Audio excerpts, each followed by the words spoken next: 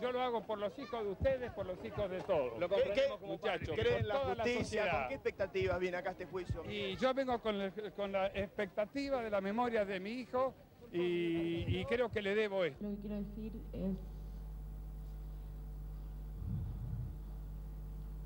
que pido perdón a la familia Cuña y, y a mi familia y bueno, y que estoy en sus manos.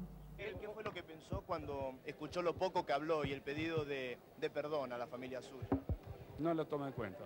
Juancito, está todo bien, te quiero.